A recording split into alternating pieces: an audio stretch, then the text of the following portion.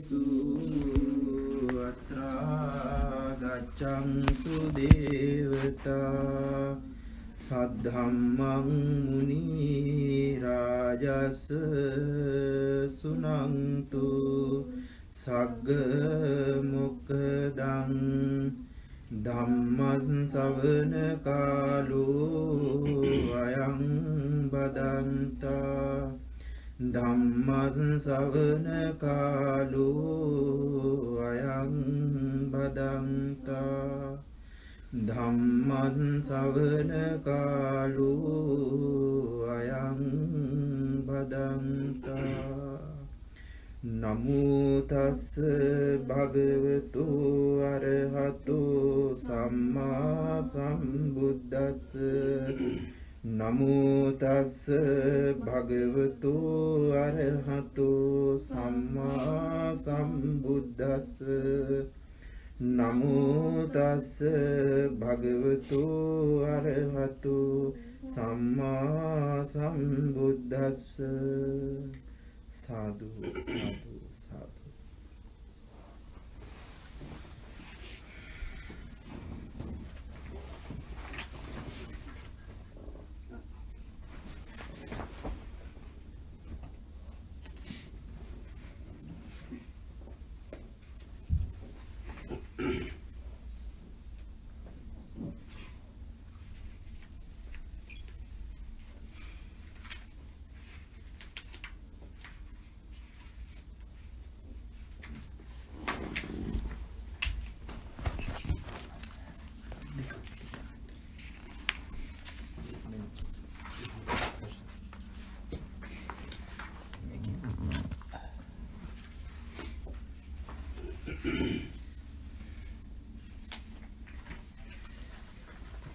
අපි ගිය සතියේ කතා කරපු සූත්‍රය මතකයිද?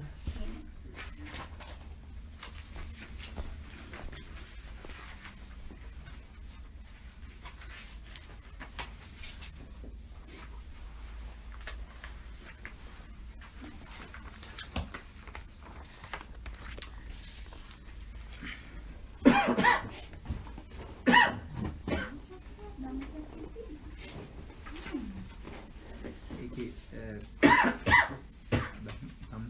පැවතුම් සූත්‍රයේ තමයි මට විස්තර කරන්න ඕන. නමුත් අර සූත්‍රය විස්තර කරන්නේ නැතුව මේ මෙදුම් පිළිවෙත කියන තේරුම් ගන්න අපහසුයි. මේ හිතන්නේ අපි මේ සූත්‍රය කලින් කරාද වගේ මට මතකයි. මජ්ජේ සූත්‍ර. මජ්ජේ සූත්‍ර. මගේ මතකයේ දුර්වල තමයි. නැති වෙන්න බෑ. ඒ මධ්‍ය සූත්‍රයේ මේ මේ සූත්‍රයේ මධ්‍ය සූත්‍රයේ ඔබ වහන්සේ අරගෙන කොටස් අරගෙන කිව්ව?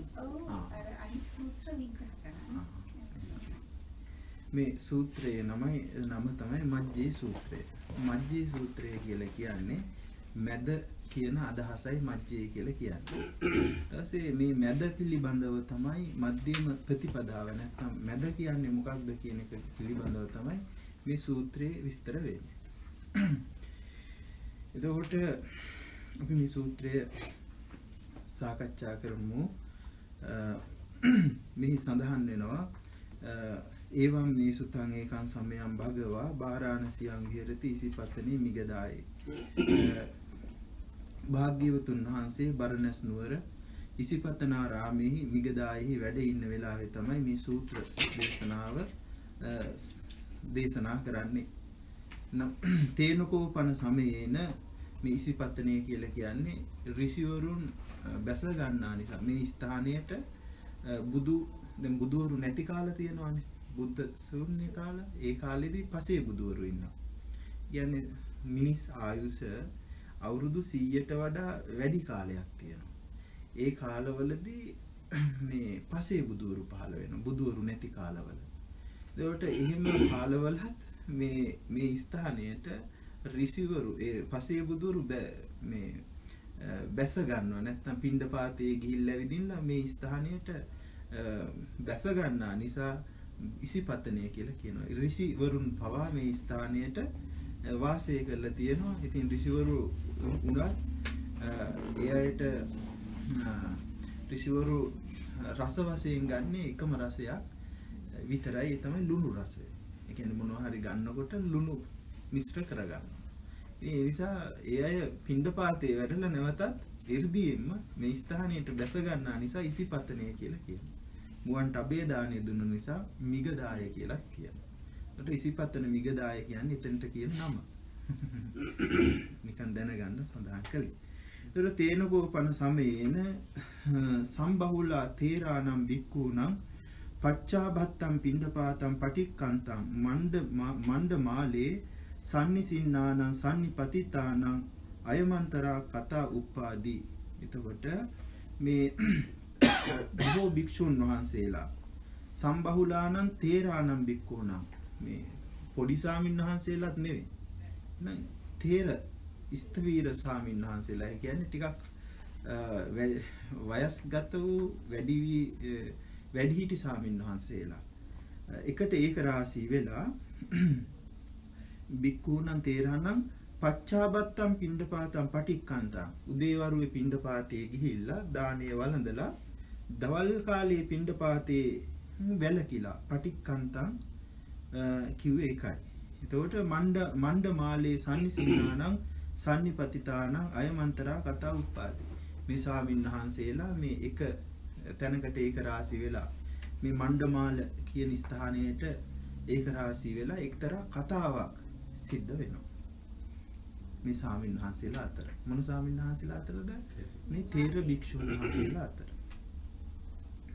බුත්තමිදං ආවුසෝ භගවතා පාරායනේ මෙත්තේය පඤ්ඤේ මේ භාග්‍යවතුන් වහන්සේ මේ විදිහට දේශනා කරලා තියෙනවා පරායන වර්ගයේහි මෙත්තේය ප්‍රශ්නයේදී කොහොමද සෝ උභන්තේ විදිත්වාන මජ්ජේ මන්තා නලිප්පති තංබ්‍රූමි මහා පුරුෂෝති සෝද සිබ්බති මච්චකා දෝට සෝ උභන්තේ විදිත්වාන මේ උභයාර්ථය උභයාන්තය දැන. අන්ත දෙක දැනගෙන උභ අන්තේ විදිත්වාන කියන්නේ දැනගෙන. මජ්ජේ මන්තාන ලිප්පති. මැද නොතරවි. අන්ත දෙක දැනගෙන මැද නොතවරි මජ්ජේ මන්තාන න ලිප්පති ලිප්පති කියලා කියන්නේ තැවරෙනවා බැස ගන්නවා කියන අදහසයි. ඒකට උබේ අන්තය දැනගෙන මැද නොතවරි ඉන්න තම්බ්‍රූමි මහා පුරුෂෝති සෝද සිබ්බති මච්චකා. එතකොට උභයන්තය දැනගෙන මැද නොතෙවරි ඉන්න කෙනාට තම්බ්‍රූමි මහා පුරුෂෝති එයාට කියන මොකක් කියලාද? මහා පුරුෂයා කියලා කියනවා.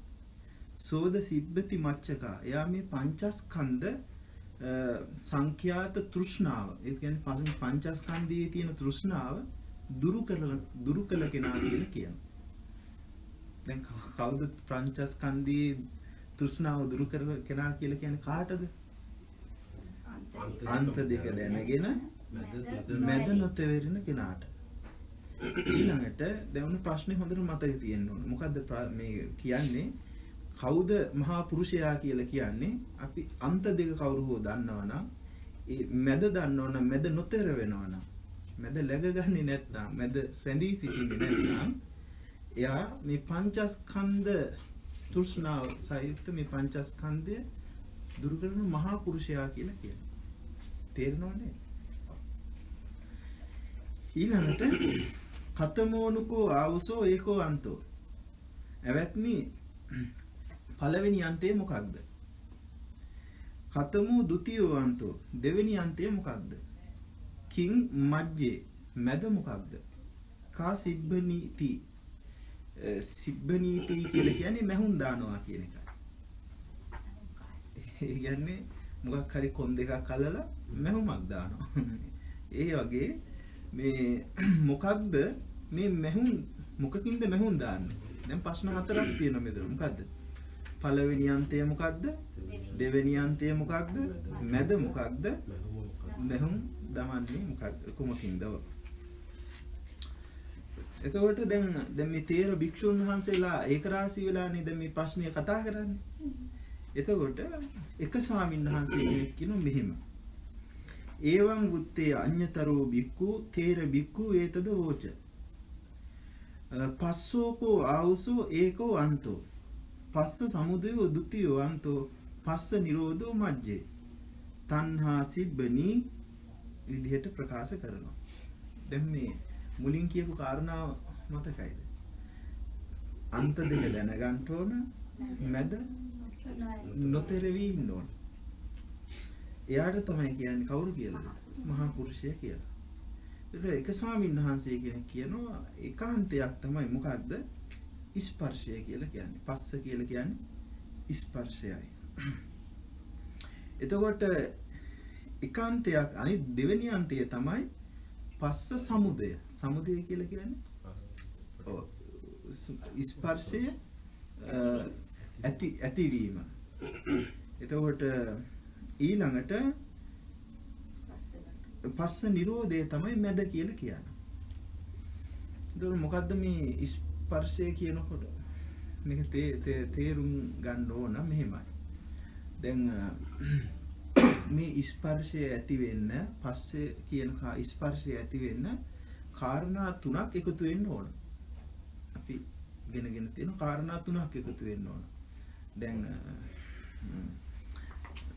දැන් අර මම හැමදාම කියන දැන් අහලවත් එපා වෙලා තියෙන කට්ටියට ඒ න්‍යාය අපහු මතක් කරන්න ඕන.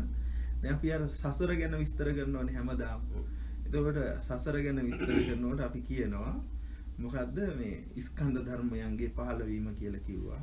ඒ ස්කන්ධ ධර්මය කොතනක හෝ පහළ වෙනවා නම් ඒකට අයත් වෙනවා මොනවද? ආයතන. අපි එහෙම කතා කළානේ නේ. එතකොට දැන් ආයතන කිව්වහම මොනවද තියෙන්නේ? ඇස, කන, නාසය, දිව, ශරීරය, මනස. එතකොට මේ ස්පර්ශයක් උපදින්න නම් අපි හිතමු මේ ආය මේ ආයතන වලට අරමුණක් එන්න ඕන.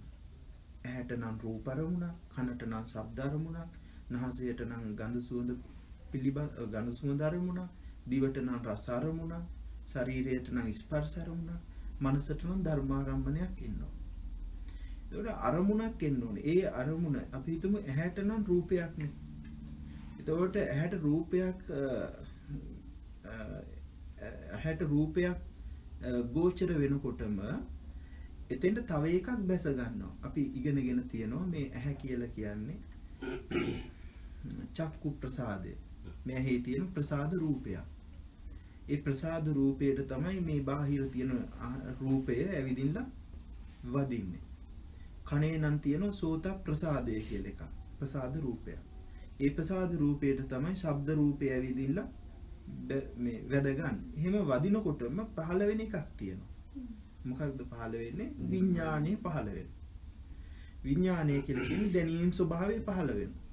දැන් අපි අර වාහන ශබ්දය අරමුණු කළොත් අරමුණු කරනකොටම ඒ ශබ්දයේ වැස අදිනකොටම අපිට පහළ වෙනවා මොකද්ද විඥානය එතකොට මෙන්න මේ තුන තින්න මෙන්න මේ තුනේ එකතුවෙන් තමයි මොකක්ද ඇති වෙන්නේ ස්පර්ශය මොන තුනේ එකතු වෙන්නේ ආයතනයක් එකතු වෙන්න ආ එකට කියනවා ඇහැට මේ ආයතන ටිකට කියනවා ආධ්‍යාත්මික ආයතන කියලා. මොන ආයතන ටිකටද? ඇස, කන, නාසය, දිව, ශරීරය, මනස.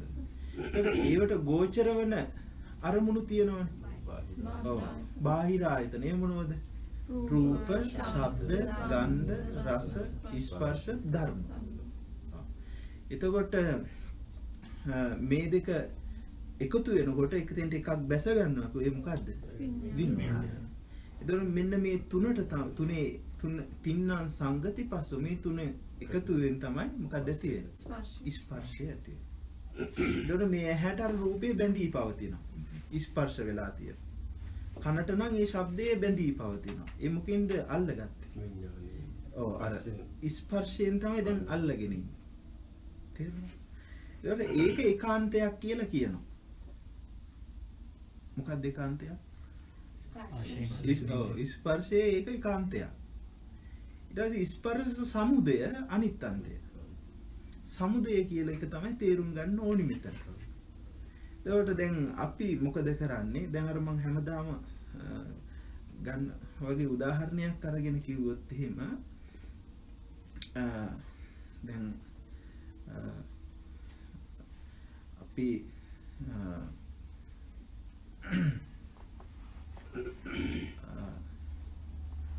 දැන් මම මේ විදිහේ කියනවා මොකක් හෝ කාරණාවක් සාමින් වහන්සේ නම පාත්‍රයේද සිවුරද ඇතිව පිණ්ඩපාතේ වැඩම කරයි. දැන් එතකොට Tamanට කොහොමද මේ මං කියපු එක දැන් ශබ්ද රූපයක් නේ මම කිව්වේ. දැන් එතනින් ඒක මං කියපු එක තේරුම් ගත්තේ කොහොමද? මනසින් සකස් කරගන්න ඕනේ රූපය. සාමින් වහන්සේ නමක් පාත්‍රය පාවහන්ද නොපළඳා දිපු දිවුරුද පොරවාගෙන පාත්‍රයේද රැගෙන ඒ පින්ඩ පාතය වැඩම කළා. එතකොට ඒක කියනකොටම අපි සකස් කරගන්න.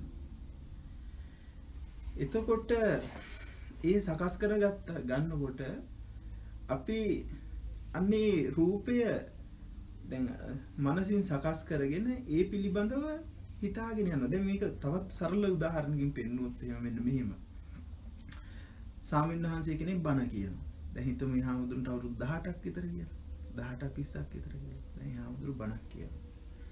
බණක් කිව්වහම ඔය කියපු එක එදා තේරුන්නේ නැහැ. දැන් කෙනෙක් කියනවා බණ අහන්න.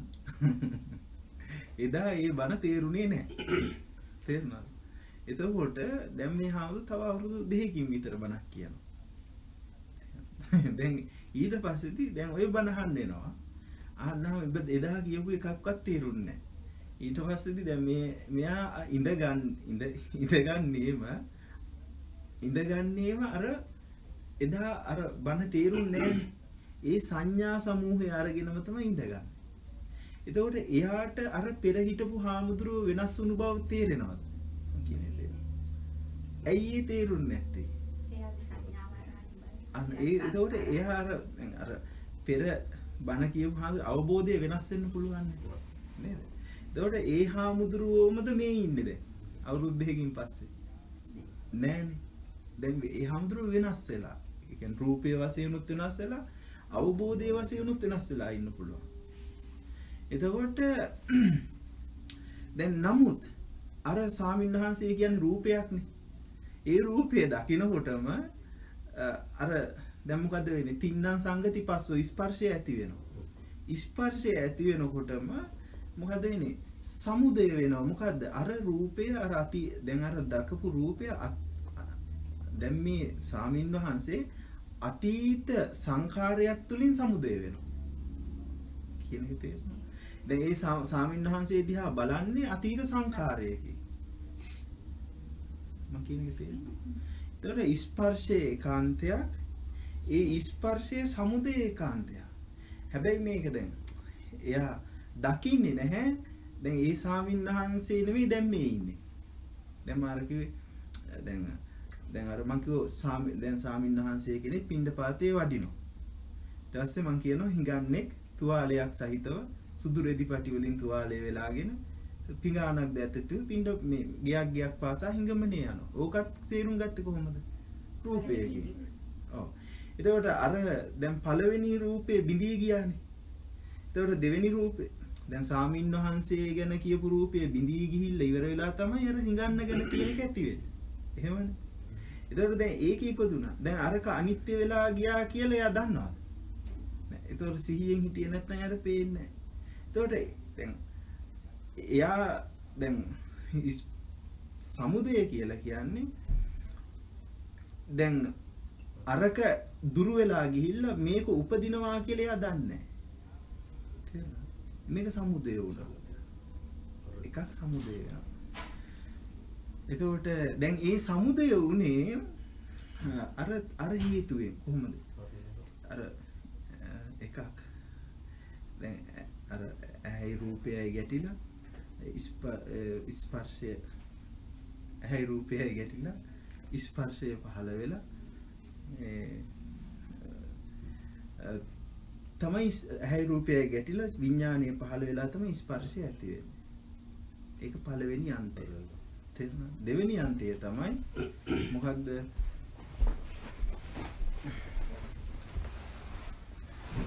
දෙවෙනි අන්තය ස්පර්ශ සමුදය. සමුදය කියලා කියන්නේ දැන් තවත් උදාහරණයකින් කිව්වොත් මේක කොහොම හෝ තේරුම් ගන්න ඕන. තවත් උදාහරණයකින් කිව්වොත් දැන් පු- අපි පුංචි කාලේ අපි මෙ- කල්පනා කළොත් අපි ඉස්කෝලේ ගියපු විදිය ඊළඟට ම්, අපි පාසලේ ඉගෙන ගත්තු විදිය. ඊට පස්සේ එහෙම එහෙම කල්පනා කළොත් එහෙම ඒ හිටපු ඒ හිටපු මමද දැන් ඉන්නේ? ඒත්ම නෙවෙයි. හැබැයි නොවන්නේ නොවේ. එතකොට දැන් හැබැයි මේ සාමාන්‍ය අශෘතවත් පුතඥයට ඒ කියන්නේ මේ ධර්ම පරියායක් නොදන්න කෙනාට එයා හිතන් එයාට හිතෙනවා ඒ තමයි ඒ හිටියෙත් මම මේ ඉන්නේ මම මම. එතකොට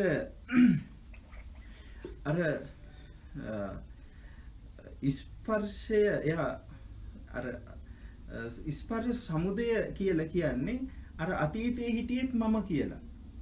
එයා ගන්න. ඔව්. හොඳයි.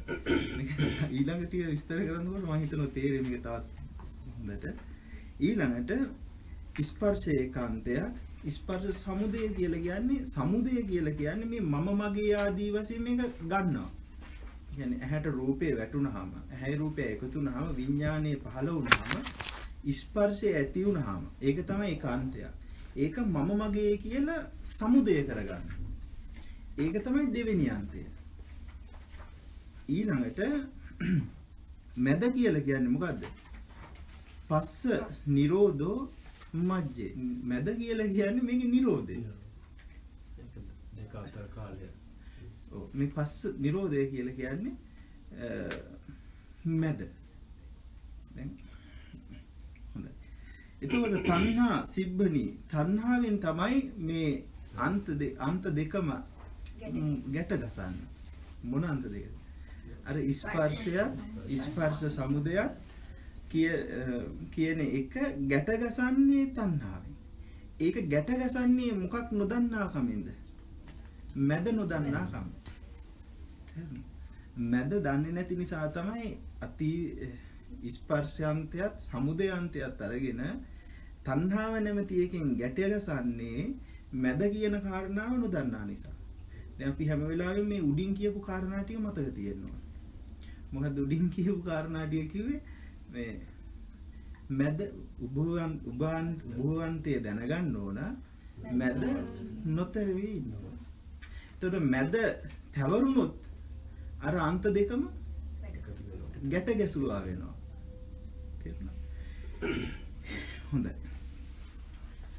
තණ්හා තණ්හා ඊනං තණ්හා හීනං සිබ්බති තස්ස තස්සේව භවස්ස අබිනිබ්බත්තිය එත්තාවතාකෝ ආවුසෝ බික්කු අභිඤ්ඤයං අභිජානාති පරිඤ්ඤයං පරිජානාති. එතකොට ඒ ඒ අවස්ථාවෙහි මොකද තස් ඒ ඒ අවස්ථාවේදී මොකද්ද කරන්නේ?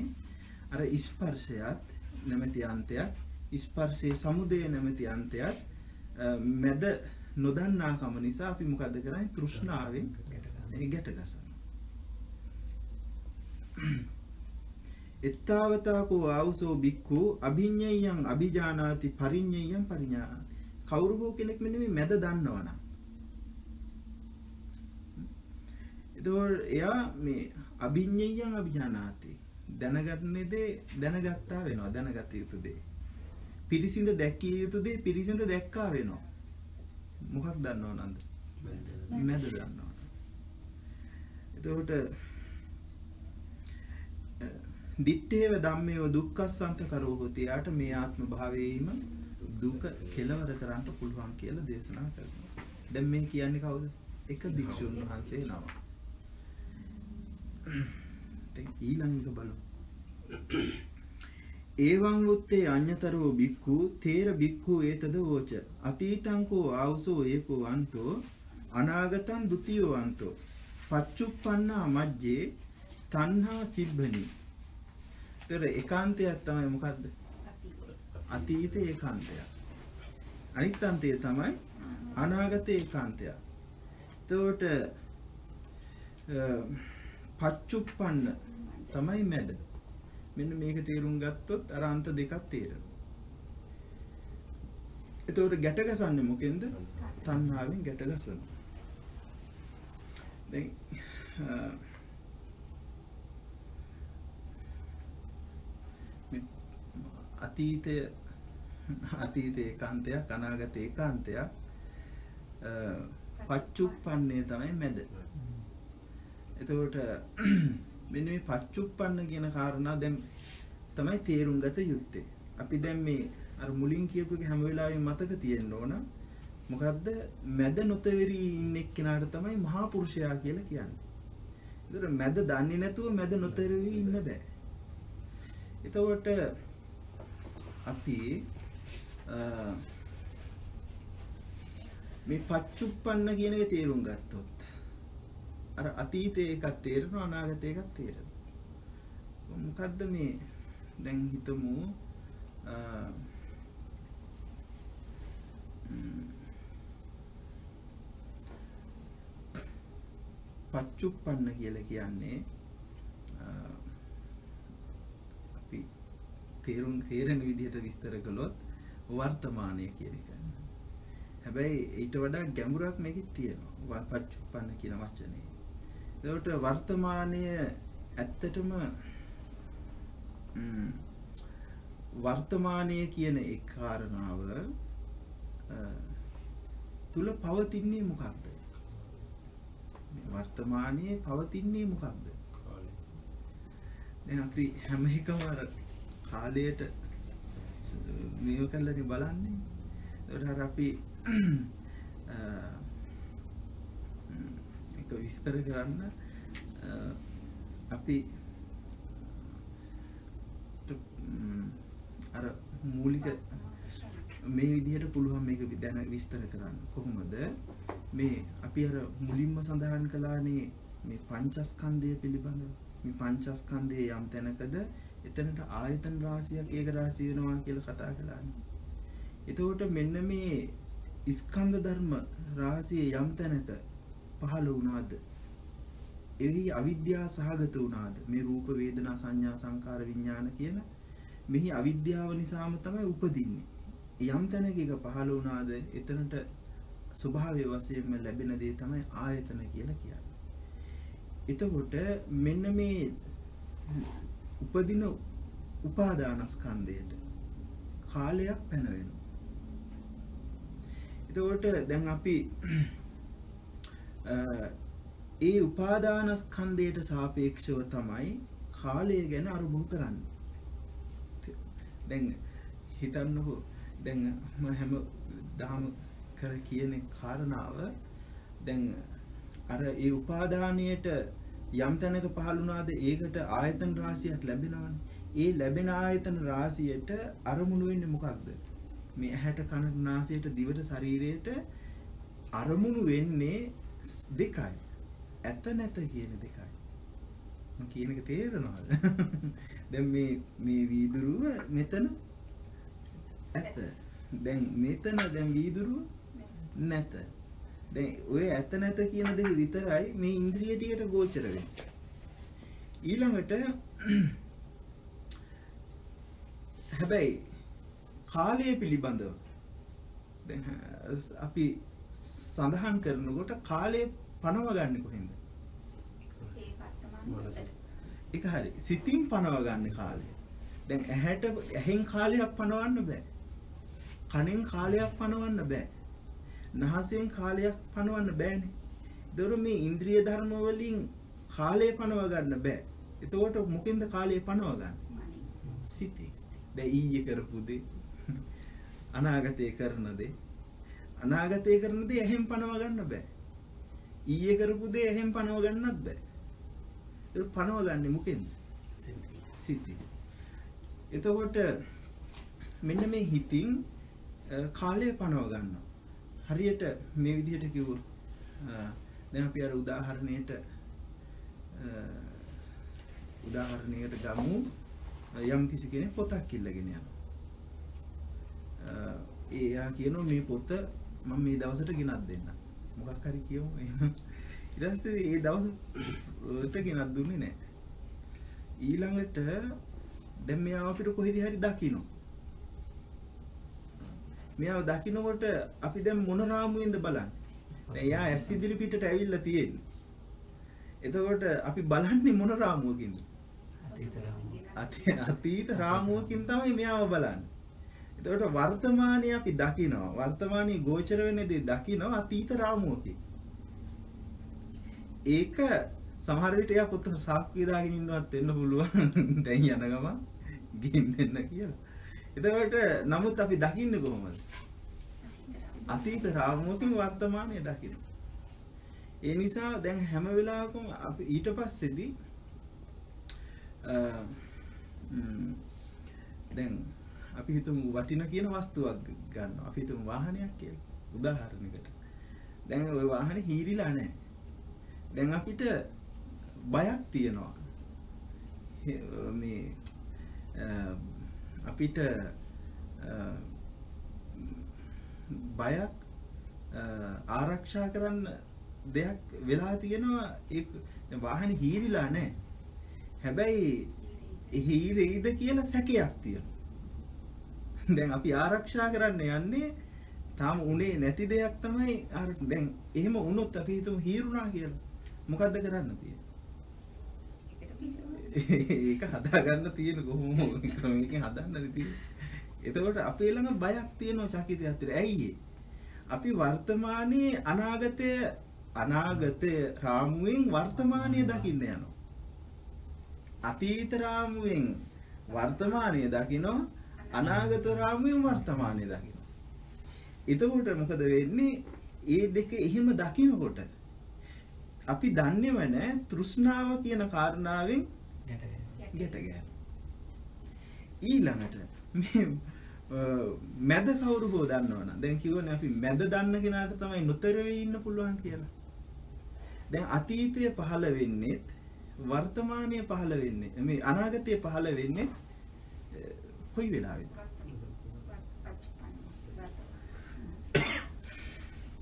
පච්චුප්පන්නේනේ. දැන් අතීතය ගැන අරමුණු කරන්න වෙන්නේ දැන් වර්තමානයේ. අනාගතය ගැන අරමුණු කරන්න වෙන්නේ වර්තමාන. එතකොට අපි මේක අඳුරගත්තේ නැත්නම් අපි තෘෂ්ණාව නැමැති නූලෙන් අපි අර අතීතය අනාගතය දෙක ගැට ගස්සනවා. එතකොට භවයේ පැන වෙනවා. එතකොට මේ පච්චුප්පන්නේ දැනගත්තොත් කවුරු හෝ කෙනෙක් අන්‍යයට පුළුවන් මැද නොතේරී ඉන්න. එතකොට පච්චුප්පන්නේ කියලා කිව්වේ මොකද්ද? දැන් මේ වර්තමානයේ දැන් මේ මේ වර්තමානයේ මොකද්ද පවතින්නේ? වර්තමානයේ පවතින්නේ හේතුඵලයයි. හේතුඵලයයි කියලා කිව්වේ අ, දැන් මේ මොහ- මේ මේ මොහොත කියලා අපි දැන් සම්මුති වශයෙන් ගමුකෝ මේ මොහොත කියලා. මේ මොහොත පවතින්නේ හේතුවක ඵලයක් හැටියටනේ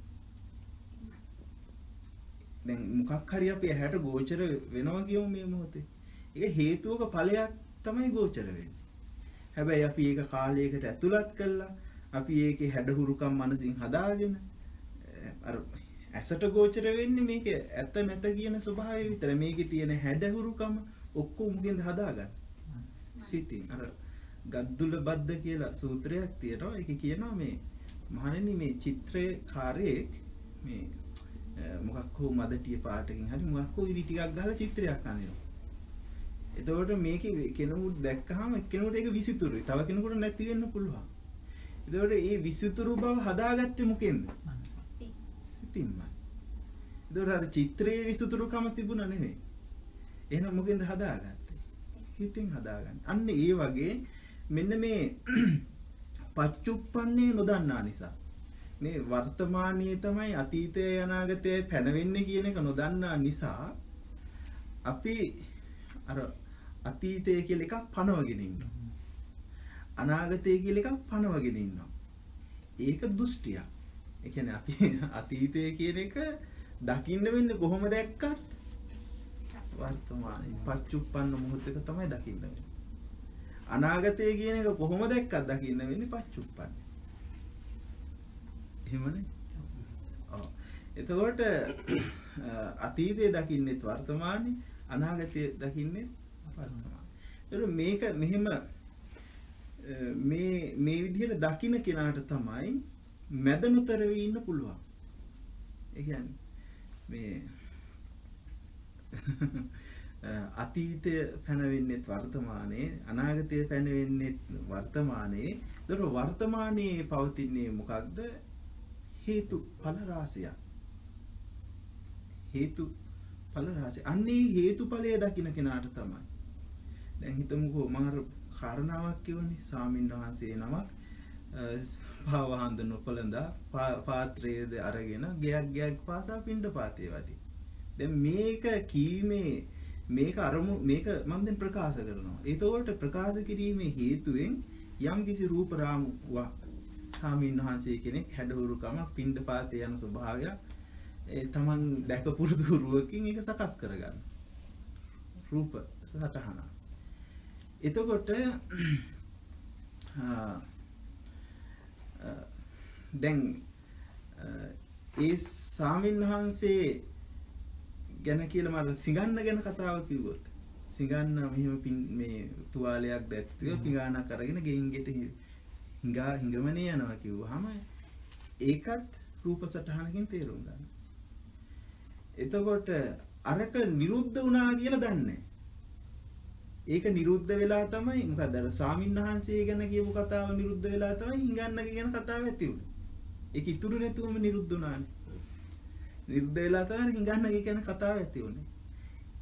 ඒක එහෙම නිරුද්ධ වෙලා ගියා කියලා දන්නේ ඒ මොකද අතීතයේ නිරුද්ධ වෙන බව දන්නේ නැහැ.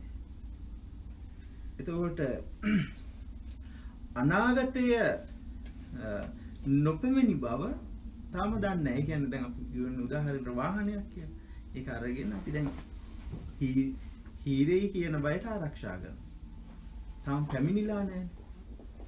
එතකොට ඒ දෙකම කරන්නේ වර්තමානය නොදන්නාකම නිසා. දැන් ඇත්තටම අපි ජීවත් වෙන්නේ වර්තමානයේ.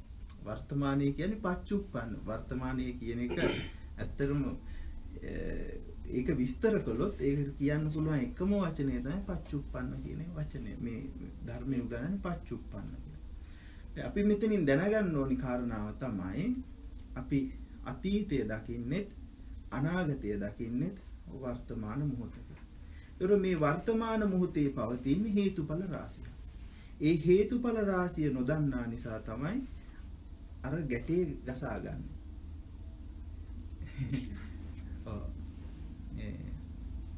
ඒ කියන්නේ අර තණ්හාව නැමැති බැම්මෙන් ගැට ගැසෙන්නේ ඒ වර්තමාන හේතුඵලය නොදකින නිසායි. හොඳයි.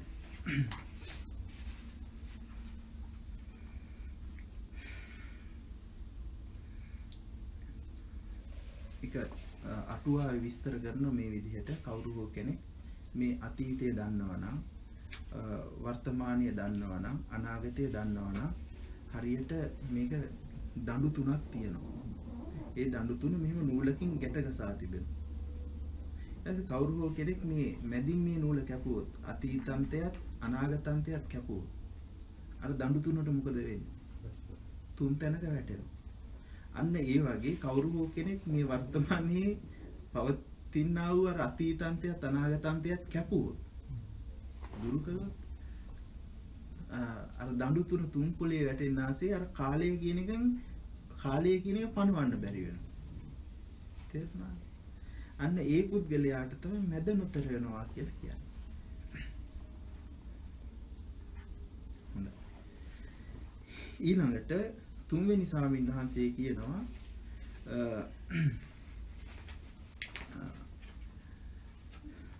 ඒවං වුත්තේ අඤ්‍යතරෝ භික්ඛු තේර භික්ඛු ඒතදවෝච සුඛාකෝ ආවුසෝ වේද සුඛාකෝ ආවුසෝ වේදනා ඒකෝ අන්තෝ දුක්ඛා වේදනා ဒ ුතියෝ අන්තෝ.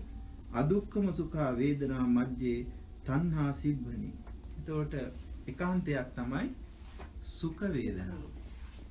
අනිත් අන්තය තමයි දුක්ඛ වේදනාව. මැද තමයි අදුක්ඛම සුඛ වේදනාව. ඇත්තටම මේ සැප වේදනාවය දුක් වේදනාවය කියන මේ දෙකම පුද්ගලයාට සාපේක්ෂයි. ඒ කියන්නේ පංච උපාදානස්කන්ධයට සාපේක්ෂයි. මොකද්ද සැපාන්තයයි දුක්ඛාන්තයයි. එතකොට පුද්ගලත්වයට සාපේක්ෂයි. දැන් සාරිපුත්ත හාමුදුරුවෝ පිණ්ඩපාතේ වඩිනවා. දවසක් අ, ලාදුරු රෝගියෙක් දානේ බෙදලා. ඇඟිල්ල ගලවගෙන වැටුණා කියනවා නේද? එතකොට සමහා ස්වාමීන් වහන්සේ මේ පැත්තකින් අරන් තියලා ඉතුරු ටික වැළඳුවා කියලා. දැන් ඒක උන්වහන්සේට සැපකුත් නෙවෙයි දුකකුත් නෙවෙයි. දැන් අපි බත්විගානට කෙස් ගහක් තිබුණොත් කොහොමද? ඒ නිසා දැන් අර ඒ පුද්ගලයාට සාපේක්ෂයි මොකද්ද? මේ සැප සැප දුක කියන එක. දැන් කෙනෙක් මොකක් හරි දිහා බලන් ඉන්නවා. එයාට ඒක සැපයක් වෙන්න පුළුවන්. තව කෙනෙක් ඒක දිහා බලන් ඉන්න එයාට දුකක් වෙන්න පුළුවන්. ඒතර මේ පුද්ගලත්වයට සාපේක්ෂයි සැප දුක කියන එක. හොඳයි. එතකොට මේ අ, සැපය කියලා කියන මේ කාරණාව ඒකාන්තයක් දුක කියන කාරණාව ඒකාන්තයක්. එතකොට මේ ඇත්තටම සැපය කියලා කියන්නේ දුකේ ආරම්භය. සැපේ කෙලවර මොකද්ද? දුක. දැන් සැප සැප දිගටම තියෙනවා. සැප දිගටම තියෙනවා. මේ ලෞකික සැපය කවදාවත් එක දිගටම පවතින්නේ නේ. ඒක වෙනස් වෙනවා. දුක කියන එක දැන් අපි අපේ ඥාති නැති වෙනවා. අ, එහෙම දුක් ඇති වෙනවනේ. ඒ දුක හැමදාම තියෙනවා. ඒ දුක හැමදාම තියෙන. එහෙනම් දුකත් ගෙවෙන. දුකත් අනිත්‍ය වෙලා යනවා. හැබැයි අපි සැප ආවහම දන්නව හිතනවද මේ සැප අනිත්‍ය වෙනවා කියලා.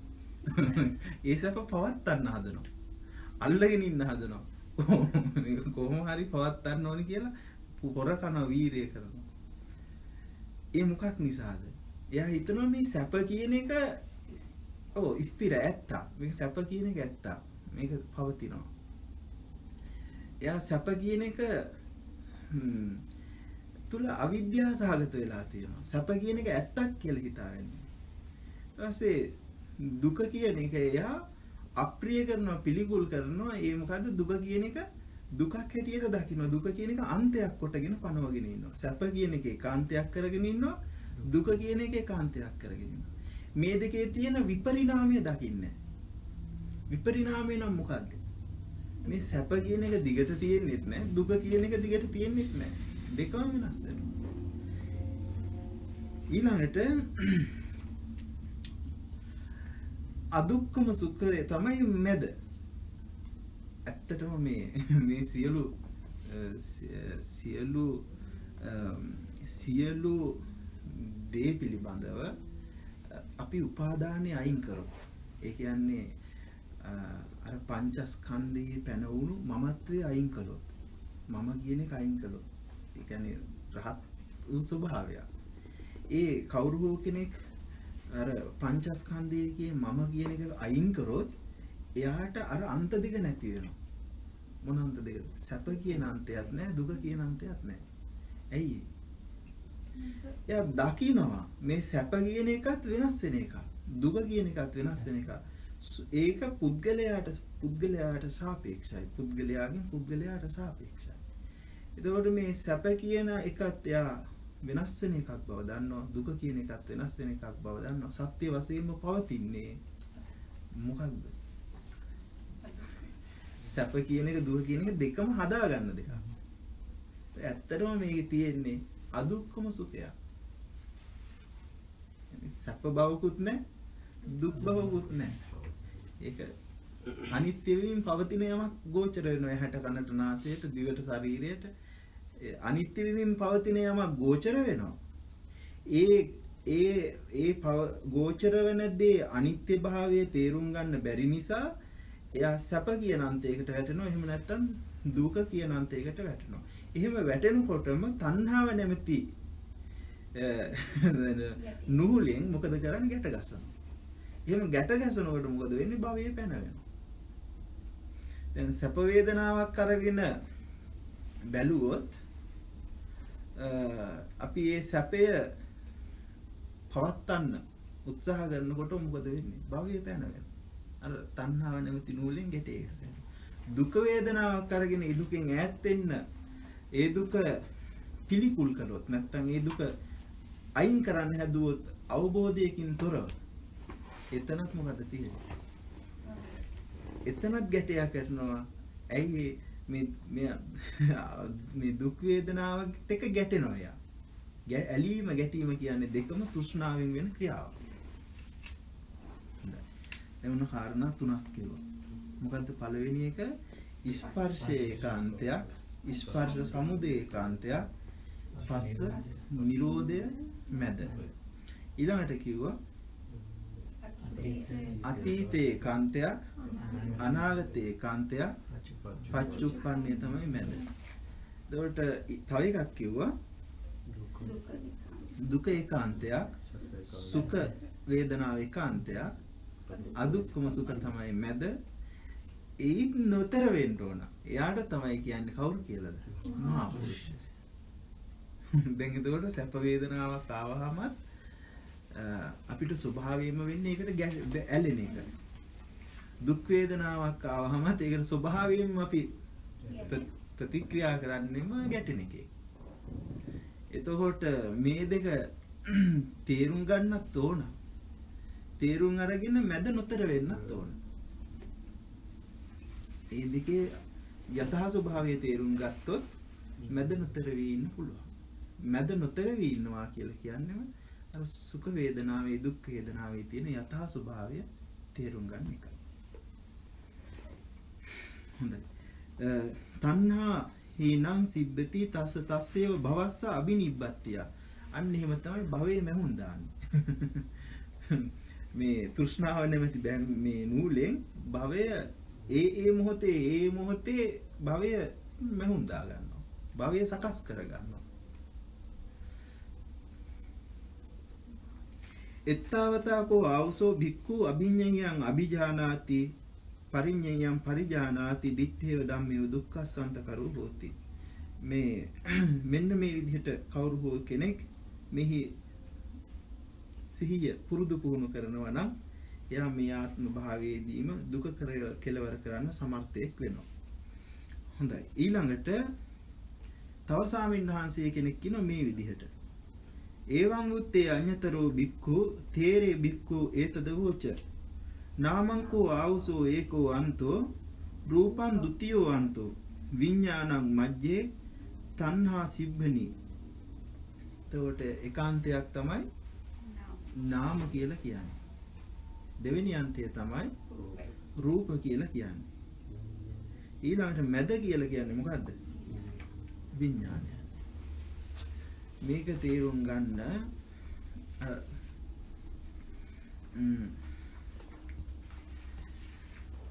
සංඛාර කියන එක තේරුම් ගන්න ඕන.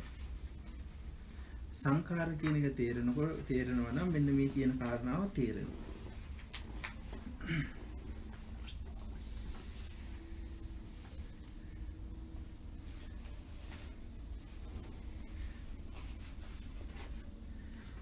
මේ වීදුරුව තියෙනවානේ.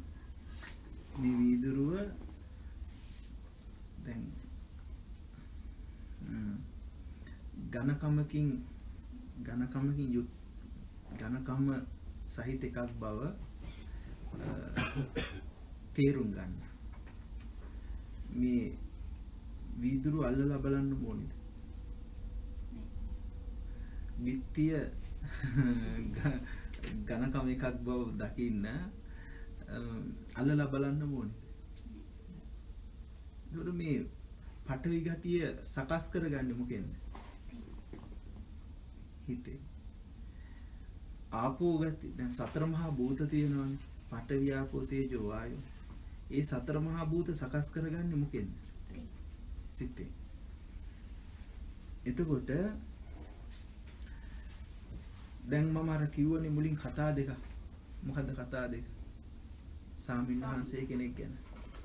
ඊළඟට කිව්වා සිංහන්නෙක් පිළිබඳව. දැන් සාමින් වහන්සේ ගැන කියනකොට රූපයක් නේ මැවුනේ. රූපයක් නේ සකස් කරගත්තේ. ඒ රූපය සකස් කරගත්තේ කොහොමද? සිතින්. ඒ කියන්නේ නාම ධර්ම රාශියකින් තමයි අර රූප ධර්මය සකස් කරගත්තේ. දැන් මම කිව්වොත් එහෙම ඒ සාමින් වහන්සේ අ, මැදිවියේ ස්වාමීන් වහන්සේ නමක් එහෙම විදිහට කිව්වොත් අන්න හිතින් මොකද කරන්නේ අර ඒ ඒ වයසට අනු- අනුකූල ටික සකස් කරගන්න. ඒ ස්වාමීන් වහන්සේ අ, මේ කළු පැහැයෙන් යුක්තයි ගණගුරුසු සිවුරක් පරවාගෙන හිටිය කිව්වොත් එහෙම ඒටිය මොකෙන්ද සකස් කරගන්න. හිතින් සකස් කරගන්න. එතකොට මේ පඨවි ධාතුව, ආපෝ ධාතුව, වායෝ ධාතුව මොකෙන්ද අපි සකස් කරගන්නේ? හිතින් තමයි සකස් කරගන්නේ. ඊළඟට ඒ හිතින් පඨවි පඨවි ආපෝ තේජෝ කියලා කියන්නේ වා- පඨවි ආපෝ තේජෝ වායෝ කියලා කියන්නේ රූප ධාතුවයි. තේරුණාද? ඒ රූප ධාතුව අල්ලගෙන ඉන්නේ මොකකින්ද? අර නාම ධර්ම රාශියකින්. ඒ කියන්නේ දැන් මම මේ අර විදිහට කියනකොට ස්වාමීන් වහන්සේ ගැනත් සිඟන්නා ගැනත් කියනකොට ඒ රූප රාමු දෙකක් නේ නැවෙන්නේ. ඒ රූප රාමු දෙකම අල්ලගෙන ඉන්නේ මොකෙන්ද? නම් නාම ධර්ම රාශියකින් තමයි අල්ලන්නේ. තේරෙනවද? එතකොට අර නාමංකෝ ආවුසෝ ඒකෝ අන්තෝ රූපං ဒ ුතියෝ අන්තෝ එතකොට නාමය කියන එක ඒකාන්තයක්. නාමය කියලා කිව්වේ අර පස්ස වේදනා සංඥා චේතනා මනසිකාර කියන මේ නාම ධර්ම රාශිය. ඊළඟට රූපය කියලා කියන්නේ අර පඨවි ආපෝ තේජෝ වායෝ කියන මේ ස්වභාවයෙන් යුක්ත මේ රූප ධාතුව. අන්න ඒකයි කියන්නේ යත්ත නාමංච රූපංච අසේසං උපරුජ්ජති. එත්ත ප- පඨවි අ, පටිගං රූප සංඥාච අ, එත්ත සා චිජ්ජතේ ජට. ඊළඟට යම් තැනක මෙන්න මේ නාමයත් රූපයත් නිරුද්ධ වෙනවා නම් එතන තමයි මේ සාංශාරික ගැටේ ලියන තැන. කොතනද? දැන් අපි මං කිව්ව මං කිව්වනේ දැන් මෙහෙම අපි ප්‍රකාශ කරනකොට අපි රූප සටහනකින් තේරුම් ගන්න. එතකොට අපි දන්නේ නැහැ මේ ඒ රූප සටහන නිරුද්ධ වෙලා තමයි අර සිඟන්නා ගැන රූප සටහන ඇති වෙන්නේ කියලා. දැන් දැනග දැන් දන්නවා කිව්වහම නමුත් ඒක දැක ගන්න බෑ සිහියෙන් ඉන්නකම්. සිහියෙන් හිටියොත් විතරයි මේක අනිත්‍ය වෙලා මේක උපදින බව දන්නේ. තේරුණාද? එතකොට අ, අන්න එහෙම නොදන්න නොදන්න අපි දැන නොගන්නාකොට මොකක්ද මේ රූපය මෙහෙම ඉපදිලා ඒක නිරුද්ධ වෙලා මේ රූපය උප, උපදිනවා කියලා අපි නොදකිනකොට ඒ වෙලා එතකොට පහළ වෙන්නේ මොකක්ද විඥානය. ඒ කියන්නේ අර රූපය ස්වාමින්වහන්සේ ගැන කියපු රූපය නිරුද්ධ වෙලා මේ සිඟන්නා ගැන කියපු රූපය පහළ වුණා. ඒකත් නිරුද්ධ වෙලා යන බව නොදකින නිසා අපි විඥානය පවත්නවා. තේරුණාද? එතකොට දැන් මේ රූප සටහන් දෙකම දැන් මම අර කියපු කාරණාවේදී දැන් ඒ සාමින්හන්සේ ගැන කියනකොට මේ මහත්තයටම වුණේ එක රූපයක සටහන. අර නෝනට වෙන්නේ තව රූප සටහන. එක එක්කිනාට වෙනස් මේක. ඒකට එයා විසින් සකස් කරගන්න එක.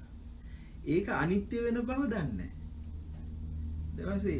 ඒ ඒ රූප සටහන අල්ලගෙන ඉන්නේ නාම ධර්ම රාශියකින්. ඒ නාම ධර්ම රාශියත් ස්ථීරව පවතින්නේ නැහැ. අර රූප සටහන බිඳෙන්නේම නාම ධර්ම රාශියත් බිඳෙන්න. බිඳීමත් එක්කමයි. ඒතර අර නාම ධර්ම රාශිය බිඳීමත් එක්කම අර රූප ධර්මයක් බිඳෙන්නේ. තේරෙනවද? එතකොට මෙන්න මේක නොදැන ඒ කියන්නේ මේ විදිහට මේ උපදින එක නිරුද්ධ වෙනවා කියලා මේ හිතේ ඇති වෙන මේ ස්වභාවය මේක ඇති වෙලා නැති වෙනවා කියලා නොදකින එක කොට අපි පවත්න්නේ මොකද්ද? විඥානය. ඒ කියන්නේ මම කියන එක පවත්නවා. අරක දැක් අරක අරක සිහිපත් කළෙත් මම මේක මානසික මේ මෙනෙහි කරන්නේත් මම. ඒක මම කියන එක ප්‍රකට නුනත් අභ්‍යන්තර වශයෙන් ඒක මම කියන එක පැනවිලා තියෙනවා. මම කියන එක තේරෙනවද? ඔව්. හොඳයි. එතකොට විඥානම් මජ්ජේ. මෙන්න මේ විඥානය දකින්න නම් කවුරු හරි කෙනෙක්.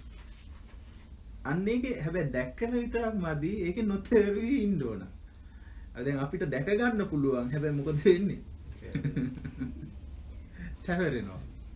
අපි දන්නවා අරක දැන් අපි කිව්වහම තේරුම් ගන්න පුළුවන් අරක නිරුද්ධ වෙලා තමයි මේක ඇති වෙන්නේ. ඒකත් නිරුද්ධ වෙලා තමයි තව එකක් ඇති වෙන්නේ. කියලා දන්නවා. හැබැයි දැනගත්තට මැද නොතේරී ඉන්නකම් අපිට මේ අර තණ්හාවෙන් කරන වැඩේ නවතින්නේ නැහැ. හොඳයි විඥානම් මජ්ජේ තණ්හා සිබ්බනි තණ්හා හිතං සිබ්බති දිත්තේව ධම්මේව දුක්ඛසන්ත කරෝ හෝති. අන්න එහෙම කවුරු හෝ කෙනෙක් මේ සිහිය පුරුදු කරනවා නම් එයා මේ ආත්ම භාවයේදීම දුක කෙලවර කරන කෙනෙක් බවට පත් වෙනවා. හොඳයි. ඊට පස්සේ දැන් කාරණා හතරක් කිව්වා. පස්වෙනි කාරණාව තව ස්වාමීන් වහන්සේ කෙනෙක් කියනවා ඒවං උත්තේ අඤ්‍යතරෝ බික්ඛු තේර බික්ඛු ඒතද වෝච චකෝ ආවුසෝ අජ්ජත්තිකානි ආයතනානි ඒකෝ අන්තෝ බාහිරානි ආයතනානි ဒ ුතියෝ අන්තෝ විඥානම් මජ්ජේ තණ්හා සිබ්බනි එතකොට ඒකාන්තයක් තමයි මොකද්ද? ආයතන. ච අජ්- මේ ආයතන 6යි චකෝ ආවුසෝ අජ්ජත්තිකානි ආයතනානි. ඒකෝ අන්තෝ. දෙවෙනි අන්තිය තමයි බාහිරානි ආයතනානි ဒ ුතියෝ අන්තෝ. විඥානම් මජ්ජේ. එතකොට ඒක තේරුම් ගන්න පහසුයි. මේ ඇස කන නාසය දිව ශරීරය මනස කියන එක තමයි ඒකාන්තය. ඒට ගෝචර වෙන රූප ශබ්ද ගන්ධ රස ස්පර්ශ ධර්ම කියන එක බා- තව දෙවෙනි අන්තය. එතකොට මැද මොකද්ද? විඥානය. දැන් මේ අ, දැන් අපි කිව්වනේ පංචස්කන්ධයේ අන්තනක පහළ වෙන ආයතන ලැබෙනවා කියලා. ඒ ආයතන ටික කවදාවත්ම නොදිරන තැනක හටගන්නේ නැහැ කියලා අපි කිව්වනේ. නොදිරන තැනක, නොමැරෙන තැනක මොන මේ තුන් ලෝක ධාතුවේ කොතන උපන්නත් අ, මේ උපාදානස්කන්ධයට ලැබෙන ආයතන ටික දිරන තැනකමයි හටගන්නේ. මියදෙන තැනකමයි හටගන්නේ කියලා අපි කතා කළානේ. එතකොට අපි මෙන්න මේ අවබෝධයෙන් නොසිටිනකොට අපිට අරමුණු වෙන රූප, ශබ්ද, ගන්ධ, රස, ස්පර්ශ ධර්ම කියලා ටිකක් තියෙනවානේ. බාහිර ආයතන ටිකක්.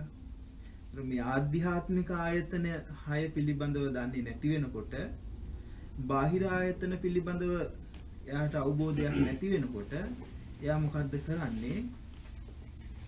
මේ දකින්නේ මම මේ අහන්නේ මම කියලා පනවගෙනමයි ඒක පරිහරණය කරන්නේ. එතකොට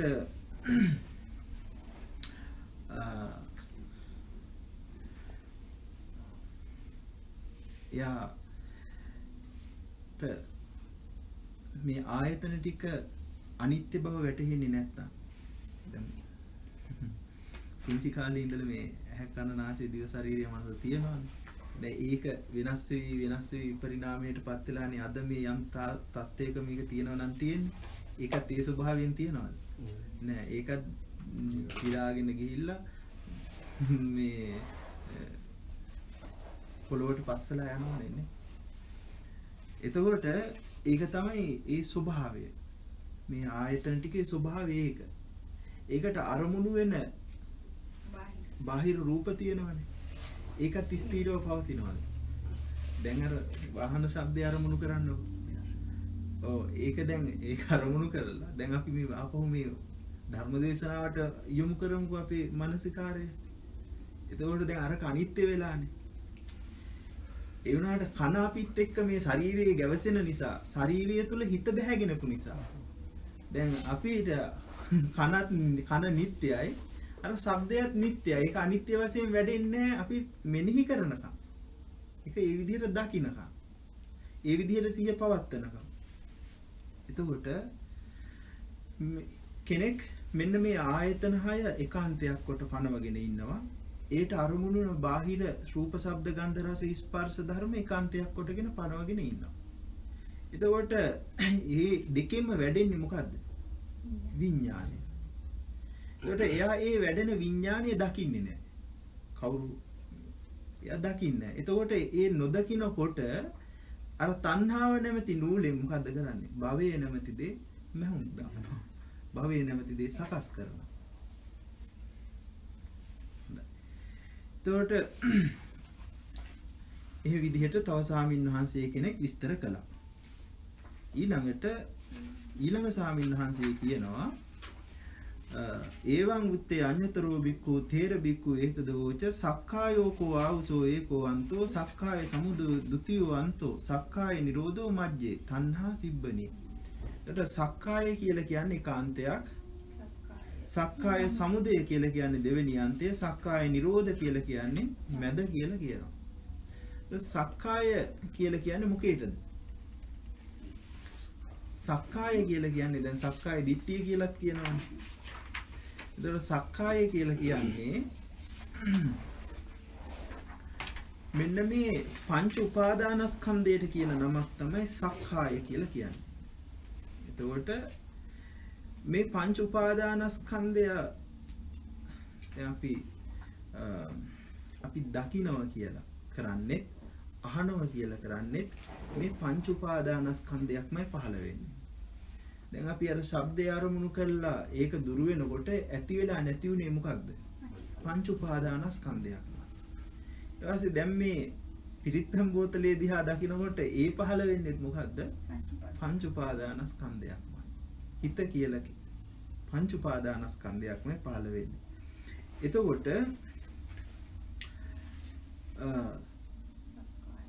සක්කාය කියන මේ පංච උපාදානස්කන්ධය කියලා කියන්නේ ඒක අන්තයක්. මේ අපිට දැන් ශබ්දයක් අරමුණු කරනකොට පහළ වෙන ගඳ සුවඳක් දැනෙනකොට පහළ වෙන ඒක එක අන්තයක්. ඊළඟට අපි මේකේ අනිත්‍යතාවය නොදකිනකොට අපි ඒක සමුදය කරගන්නවා. සමුදය කරගන්නවා කියලා කියන්නේ තණ්හා දිට්ඨි මාන වශයෙන් එක ගන්නවා. එතකොට ඒ එහෙම ගන්නකොට සක්කාය සමුදය වෙනවා. මේ එතකොට අපිට වැඩෙනවද මේ මේ මේ ගඳ සුවඳ අනිත්‍යයි හෝ මේ දකින්න රූපය අනිත්‍යයි හෝ එහෙම දැනෙනවද? මේ මනස මනසට අරමුණු වෙන ධර්මය අනිත්‍යයි හෝ අර සාමින් වහන්සේ ගැන කියලා සිඟන්නා ගැන කියනකොට එයාට තේරුණාද මේ මනසට තමයි මේ කරමුණු උනේ. මේ මනසට අරමුණු වුණු මේ ධර්මතාවය අනිත්‍ය වෙනවා කියලා තේරෙන්නේ ඒක නොදකින්නකොට මොකද්ද වෙන්නේ? සක්කාය සමුදය වෙනවා. එතකොට අන්නේ අනිත්‍යතාවය දකින්න නැති සියලු දෙනා අනිත්‍යතාවය නොදකින සියලු දෙනා සක්කාය සමුදය වෙමින් පවතින. ඒක සක්කාය කියන පංචස්කන්ධයේ ඒකාන්තයක්. සක්කාය මේ තණ්හා දිට්ඨි මාන වශයෙන් මේක පරිහරණය කිරීම අනිත් අන්තය. ඊළඟට සක්කාය නිරෝධ මෙන්න මේකේ නිරෝධය දකිනවනම්. ඒ කියන්නේ සක්කාය නිරෝධය තමයි මැද. එතකොට නිරෝධය කියලා කියන්නේ මේකේ තියෙන අනිත්‍යතාවය දකින්න ඕන. මේක ඇති වෙන නැති වෙන එක අපි දකින්න ඕන. හැබැයි ඒක දකින්න පුළුවන්. කොච්චර බණ ටොන් එකක් දැනගත්තත් ත්‍රිපිටකයම දැනගත්තත් පාඩම් කරා කටපාඩමින් තිබුණත් දකින්න පුළුවන් නම් වෙන්නේ සිහියෙන් ඉන්න වෙලාවට විතරයි. අනිත් හැම වෙලාවකටම ඒ උපදින පංචස්කන්ධෙහි අපි බැස ගන්නවා විනා ඒකේ ඇලී ගන්නවා හෝ ගැටී ගන්නවා විනා අපිට ඒකේ නිරෝධය දැක ගන්න බෑ. ඒක සිහියෙන් ඉන්න වෙලාවට ඇති වෙන ඒ නැති වෙන එක දැක ගන්න පුළුවන්. හොඳයි. ඒකට මෙන්න කාරණා හයක් කිව්වා. මොකක්ද කියපු කාරණා හය? පළවෙනි එක අපි කිව්වා ස්පර්ශ ඒකාන්තයක් ස්පර්ශ සමුදය ඒකාන්තයක් පස්ස නිරෝධ ඒකාන්තයක්. ඔකේ පළවෙනි එක. ස්වාමීන් වහන්සේ කිව්ව ඒ විදිහට. ඊළඟට අනිසාවින් වහන්සේ කිව්වා අතීත ඒකාන්තයක් අනාගත ඒකාන්තයක් මැද පච්චුප්පන්නය මැදයි කියලා කිව්වා. ඒ අනිත් ස්වාමීන් වහන්සේ මැද විස්තර කරපු විදිය. තව ස්වාමීන් වහන්සේ කෙනෙක් මැද විස්තර කළා කොහොමද? දුක වේදනා සුඛ වේදනාව ඒකාන්තයක් දුක වේදනාව අනිත් අන්තය අදුක්කම සුඛ තමයි මැද එහි නොතර වීඳීම තමයි මේ මහා පුරුෂයා කියලා කියන්නේ.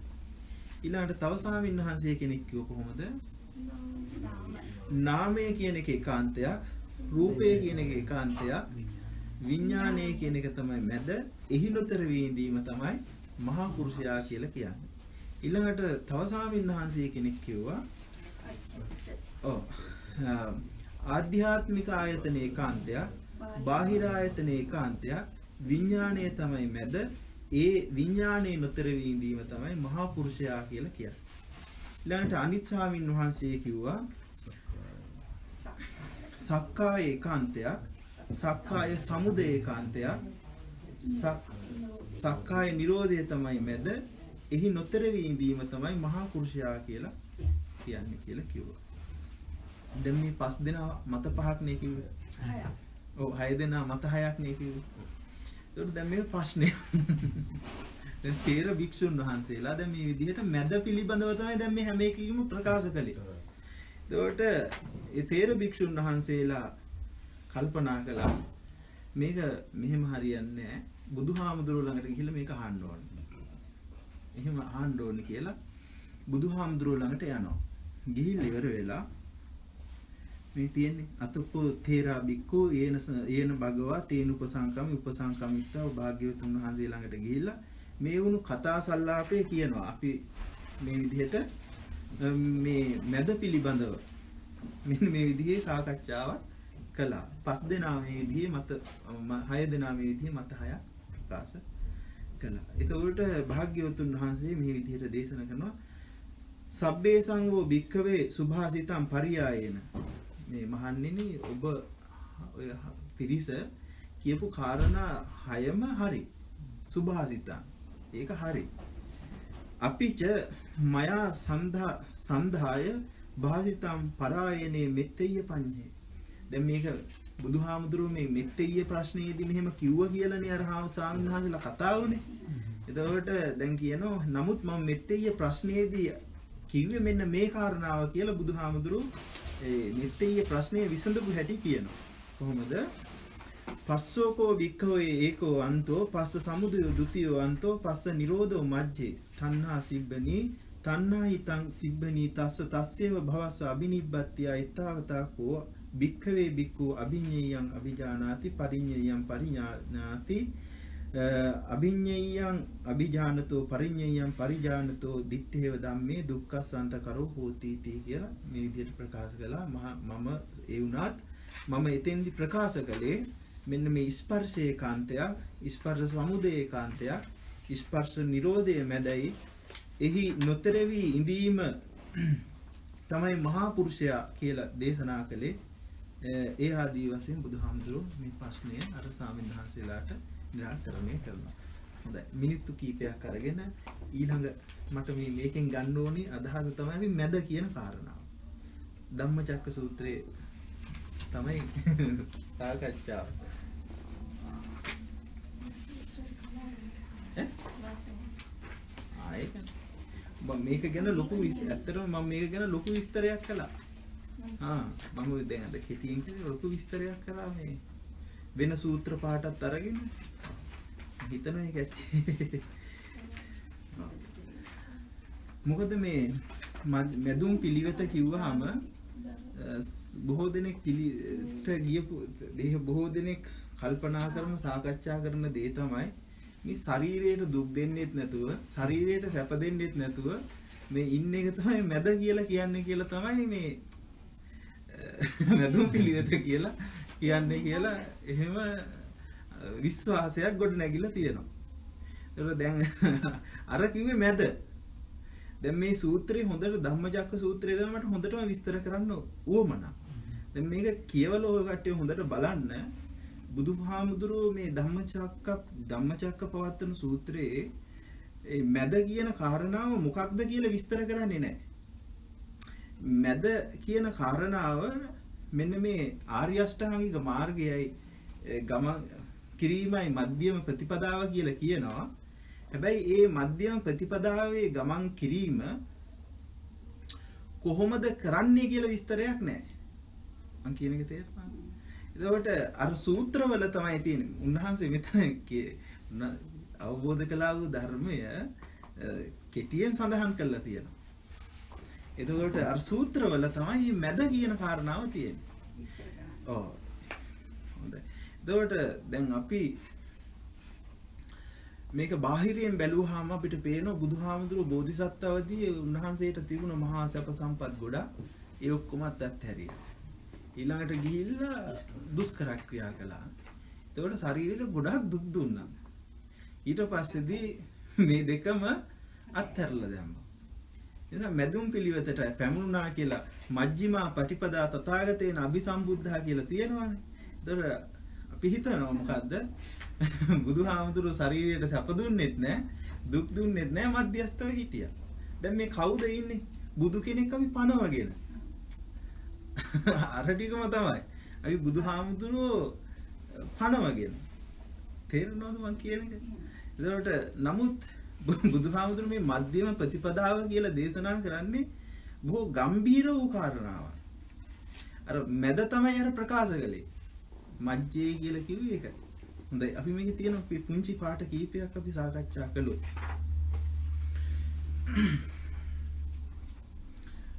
එච්චර කාලය ගන්න බොහොම කෙටියෙන් අපි ඉවර කරමු. දැන් මේ බරණ බාර මේ ටික දන්නවනේ. ඒවම් මේ සුතං ඒකං සමයං භගවා බාරාණසියම් විහෙරති ඉසිපතනේ මිගදායි తත්‍රකෝ භගවා පංචවග්ගයේ බික්කු ආමන්තේසි.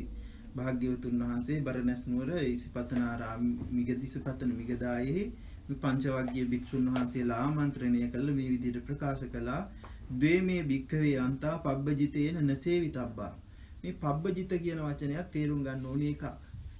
පබ්බජිත කිව්වහම අපි අදහස් කරනවා මේ පැවිද්දෙක්ම තමයි පබ්බජිත කියලා කියන්නේ කියලා. ඒ කියන්නේ සිවුරක් තියෙන්න ඕන, හිස මුඩු කරගෙන ඉන්න ඕන. එයාට තමයි පබ්බජිත කියලා කියන්නේ කියලා අපේ එහෙම තියෙන අදහසක්. එතකොට එහෙමුණොත් එහෙම ගිහි කෙනෙකුට කවදාවත් මාර්ගඵලයක් ලබන්න හම්බ වෙන්නේ නැහැ. තේරුණාද? පබ්බජිත කියලා කියන්නේ පබ්බ කියලා කියන්නේ මොහොතයි. ජිත කියන්නේ දිනන එකයි. පබ්බජිත කියලා කියන්නේ මොහොතක් මොහොතක් පාසා දිනන එකයි. ඒතර මොහොතක් මොහොතක් පාසා මොකද්ද දිනන්න ඕන? සැනසෙල්ල දිනන්න ඕන. අපි සැනසෙල්ල නොදිනන හැම මොහොතකම අපි පරාජිතයි. අපි පබ්බජිත කෙනෙක් වෙන්නේ. ඒතර අපි මොහොත දැන් මොහොතක් කිය දැන් අපි කිව්වනේ අතීතය තන වෙන්නේ දැන්. අනාගතය තන වෙන්නේ දැන්. එතකොට මේක දිනා ගන්න ඕන. එතකොට ඒක දිනන කෙනාට තමයි කියන්නේ මොකක් කියලාද? පබ්බජිත කියන එක. එතකොට මේ පබ්බජිත කියන ස්වභාවය අපි හැමදෙනා විසින්ම ඇති කරගත යුතු එකක්. අපි සැනසෙල්ල දිනන්න ඕන. හොඳයි. එතකොට උන්වහන්සේ දේශනා කරන දේමේ භික්කවේ අන්තා පබ්බජිතේන නසේවිතබ්බා යෝචායන් කාමේසු කාමසුකල්ලිකානු යෝගෝ හීනෝ ගම්මෝ පෝතුජ්ජිනිකෝ අනරියෝ අනත්ත සංහිතෝ මේ කාමසුකල්ලිකානු යෝගය මේ සැනසිල්ල දිනන කෙනා විසින් සැනසිල්ල දිනන කෙනා විසින් මොකද්ද අත්හල යුතු යෝචායන් කාමේසු කාමසු කාමේසු දේමේ භික්කවේ අන්තා පබ්බජිතේන නසේවිතබ්බා මේ අන්ත දෙක සේවනය නොකළ යුතුයි. මොන අන්ත දෙකද?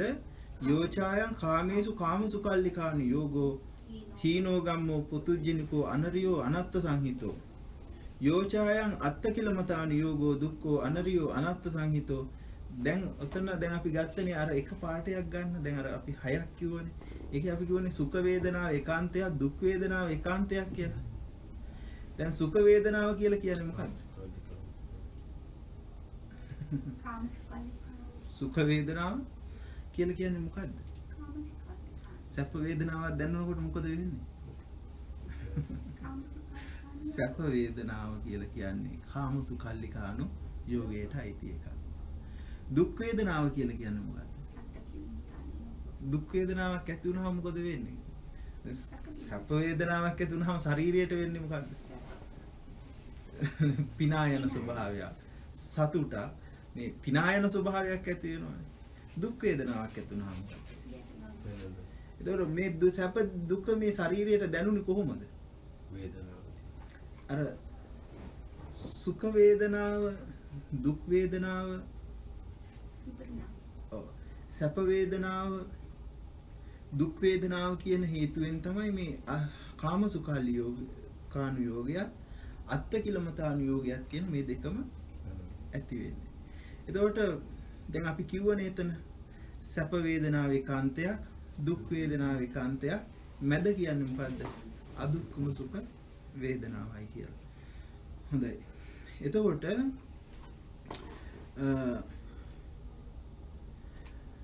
ඔව්. අත්- අ, මේ අන්ත දෙක සේවනය කරන්න එපා කියනවා. මොන මොකේකද අර සැප වේදනා සහිත අන්තයත් දුක් වේදනා සහිත අන්තයත් දැන් ওই දෙක තමයි හැම වෙලාවකම ස්- අර වාරිජෝ තලයකිත්ත ඕක මොකද උබ හරියට මාළුව ගොඩෙන් දියෙන් ගොඩට දැම්මා වගේ අපි සැපාන්තයට වැටෙනවා දුක්ඛාන්තයට වැටෙනවා. සැපාන්තයට වැටෙනවා දුක්ඛාන්තයට වැටෙනවා. එතකොට ඒ සැපාන්තයට දුක්ඛාන්තයට වැටෙන්නේ මේ මැද කියන එක නොදන්නා නිසා. එතකොට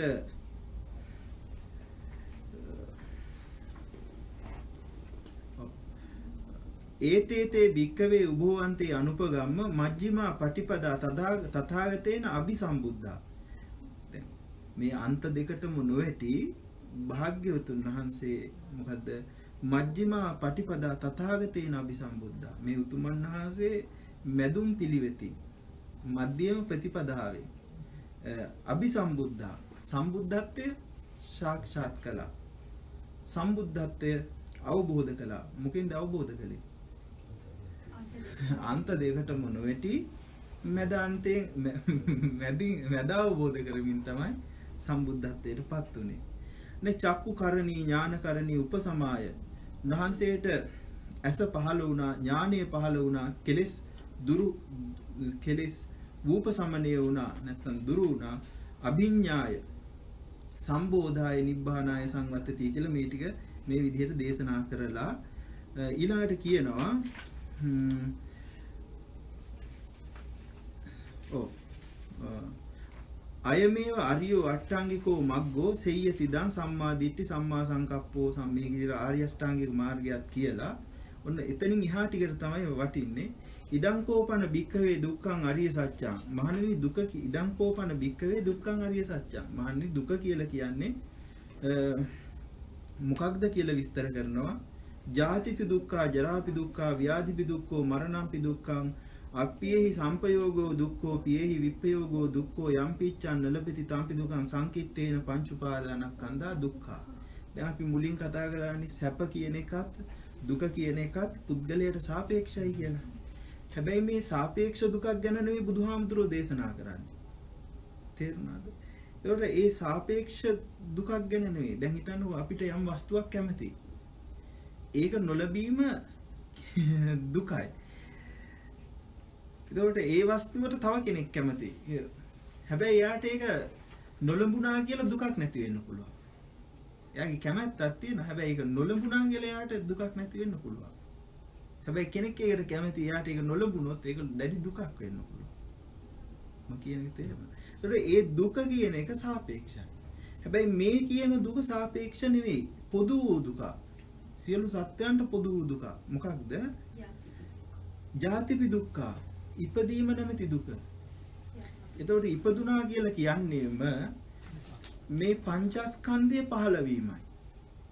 ඒ කියන්නේ අර මහා නිදාන සූත්‍රය ඒ ආදී සූත්‍රවල දක්වන මේ පංචස්කන්ධය යම් තැනක හට ගන්නවද?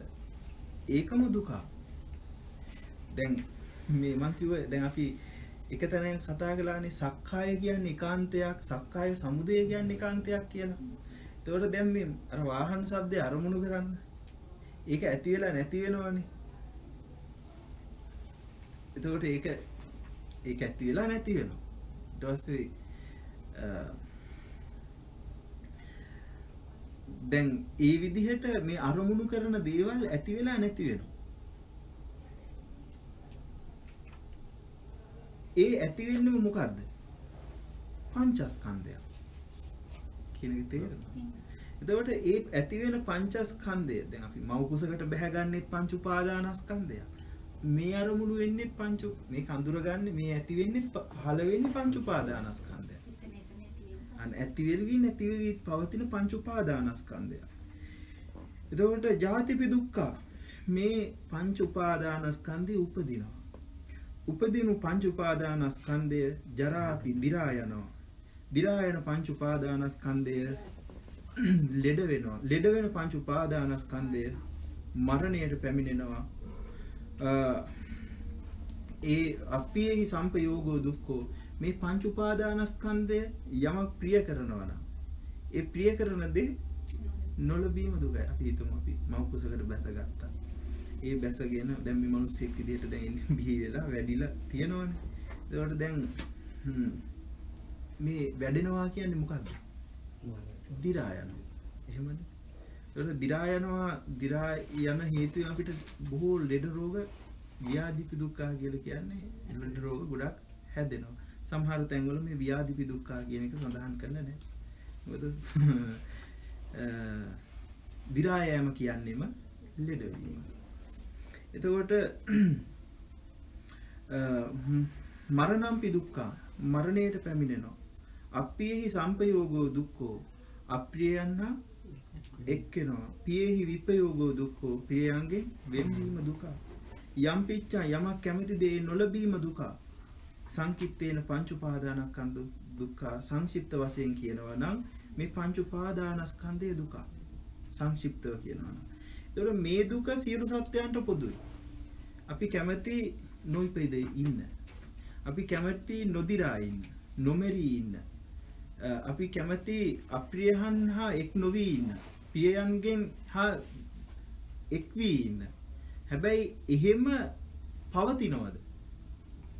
එහෙම මේ පංච උපාදානස්කන්ධයක් පවතින්නේ නැහැ. ඒ නිසා කෙටියෙන්ම ගත්තහම මේ පංච උපාදානස්කන්ධයම දුකයි කියලා දේශනා කළා. ඒක තමයි දුක හැටියට දේශනා කළේ. එතකොට ඉදං කෝපන භික්ඛවේ දුක්ඛ සමුදයෝ අරිය සත්‍යං යායන් තණ්හා පෝනෝ භවිකා නන්දි රාග සහගතා తත්‍ර తත්‍රා බිනන්දිනී සෙය්‍යති දං කාම තණ්හා භව තණ්හා විභව තණ්හා කියලා මෙහෙම විස්තර කරනවා. එතකොට මෙහි සඳහන් කරන්නේ අ, මේ දුකට හේතුව දුක හටගන්න විදිය. ඒ දුක හටගන්න හේතුව මොකද්ද? යායන් තණ්හා. අර අර දැන් අපි කිව්වනේ දැන් මේ අර ඔව් අන්ත දෙක නොදෙනනකොට තණ්හාව නැමැති නූලෙන් භවයේ ගැට ගසනවා කියලා. ඒ ඒක තමයි. එතකොට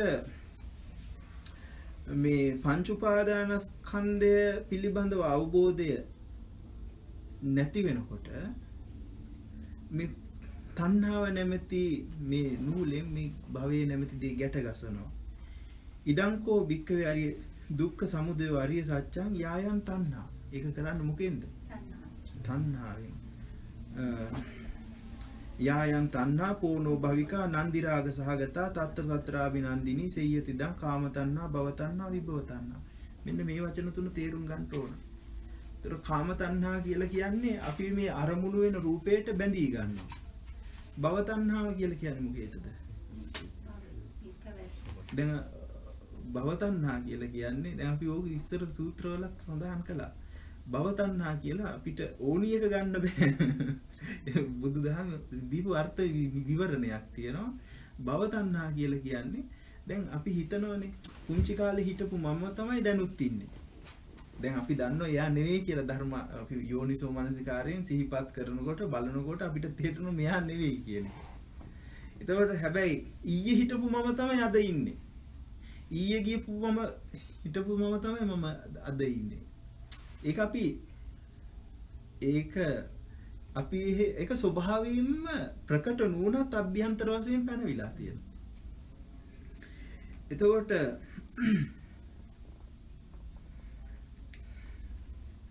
ඔව්.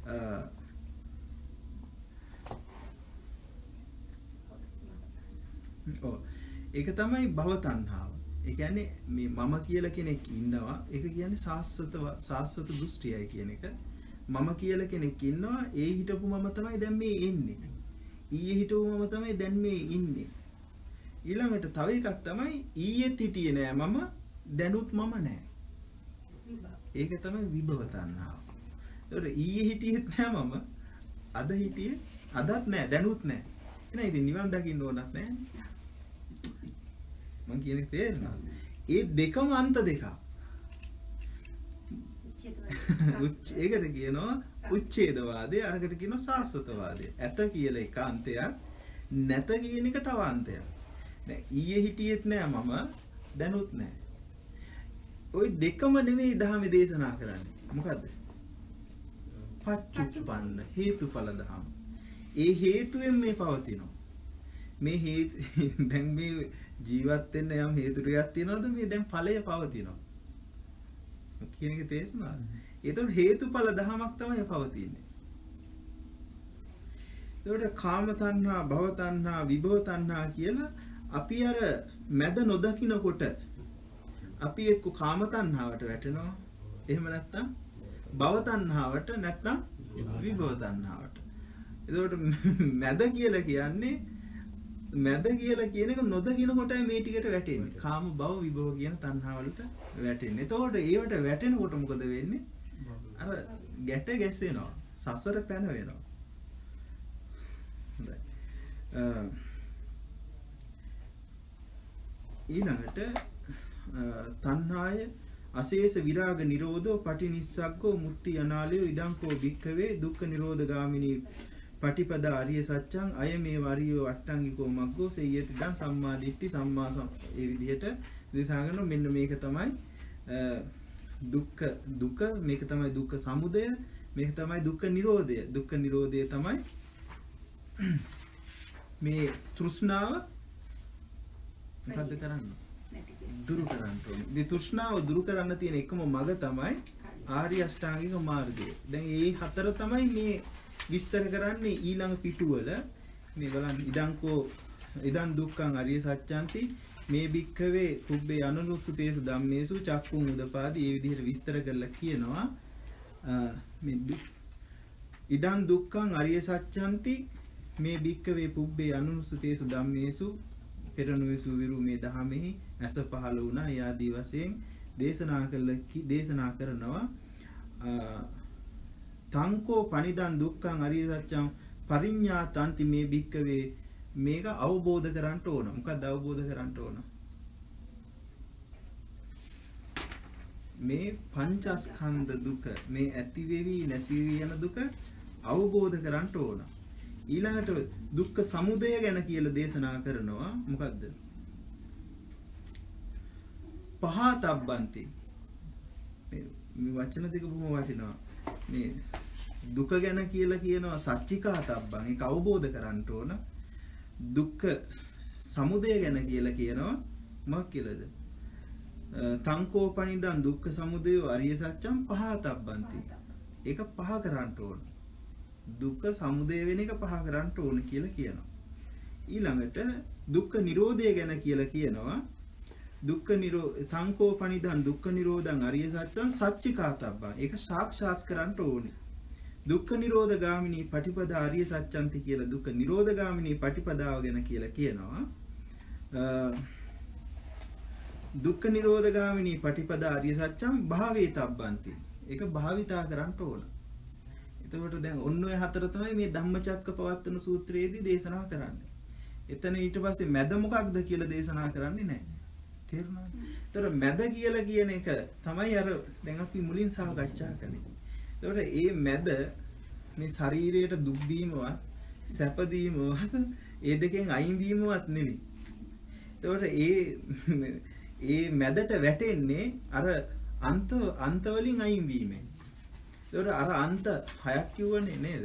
ඒ හයෙන් කවුරු හරි කෙනෙක් අයින් වෙනවා නම් ඒ මැද අවබෝධ කරගෙන හි නොතර වෙනවා නම් අන්‍යයා මධ්‍යමා මජ්ක්‍ධිමා පටිපදාවට වැටුණු කෙනෙක් වෙනවා. ඒක තමයි තථාගත ශාසනයට බැසගත්ත කෙනෙක් වෙනවා. හොඳයි. මේ කියපු කාරණාය තේරුණාද? කාරණා හිටියටවත් තේරුණා නම් ලොකු දෙයක් නේ.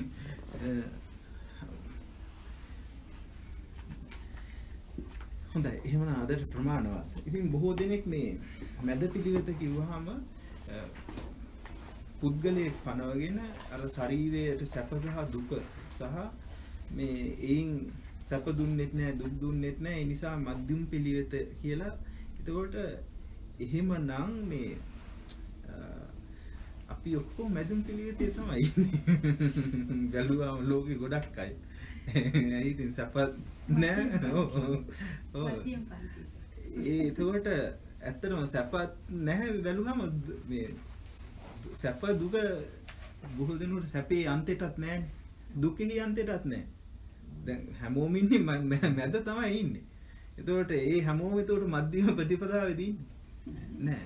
ඒ අර බාහිර වශයෙන් බැලුවාම අපිට පේනවා එහෙම එකක්. නමුත් ඒක නෙවෙයි මේ ධර්මයේ දේශනා කරන්නේ. අන්න අන්ත දෙකෙන් මේ හිත ගලව ගන්න විදිහයි ඒ ගැලවීමෙන් තමයි මැදට වැටෙන්නේ කියලා කියන එකයි දේශනා කරන්නේ. ඒක තමයි මට කියලා දෙන්න උවමනාව.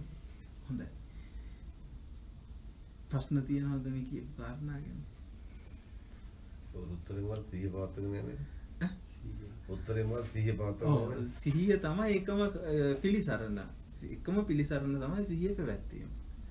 ඒ- ඒකෙන් තමයි මේ අන්ත දෙක අඳුර ගන්න පුළුවන්, දැනගන්න පුළුවන්. නැත්නම් ඒක ඇති වෙලා නැති වෙලා යනවා. අපි මම කියන කෙනෙක් පනවගෙන ඉන්නවා. ඒක අර ටික ඇති වෙලා නැති වෙලා යනවා. ඒක දැක ගන්න බෑ. ඒක දැක ගන්න තුරු ඒ පිළිබඳව අවබෝධ වෙන්නේ නැහැ. ඒ අවබෝධය නොලැබෙන තුරු මේ සසර කෙලවර වෙන්නේ නැහැ. හොඳයි අපි එහෙනම් දෙවියන්ට ඥාතීන්ට පින් අනුමෝදන් කරමු. හොඳයි. වැඩ රාජකාරි බොහොමයක් තිබුණත් විහාරස්ථානෙට යන්න ඕන සද්ධර්ම ශ්‍රවණය කරන්න ඕන පුළු පුළුවන් විදිහෙන් මේවා දැන කියා ගන්න ඕන.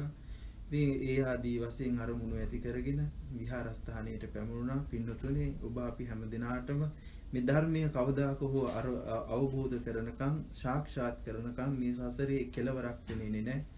ඒ නිසා ඒ සසරේ කෙලවරක් ම්, කෙලවරකට පැමිණෙන්න නම් මේ ධර්මය අවබෝධ කළ යුතු වෙනවා. ඒ නිසා මමත් පුළුවන් උත්සාහයෙන් ඔය ඇත්තොත් පුළුවන් උත්සාහයෙන් ධර්මය සාකච්ඡා කළා ශ්‍රවණය කළා. මේ අපි හැම දිනම එකට ඒක රාශී වෙලා කුසලාරම්මණයක හිත කය වචනය පවත්වලා උපදවා ගන්නට යෙදුණු මේ සියලු කුසලානිසංස ධර්මයෝ පින් කැමති සියලු දෙවිවරුද අනුමෝදන් වෙත්වා අනුමෝදන්ව දිවිසුරු වඩා වර්ධනය කරගෙන එහි අනිත්‍ය දුක් අනාත්මාදී ලක්ෂණ අවබෝධ කොටගෙන උතුම් නිවනින් සැනසෙත්වා. ඒ වගේම මිය පරලෝකියා වූ සකල විද ඥාති වර්ගයාද මේ අපි සතුටින් සන්තෝෂයෙන් සිදු කළා වූ මේ උතුම් කුසල ධර්ම කුසල ධර්මිය අනුමෝදන් වෙත්වා.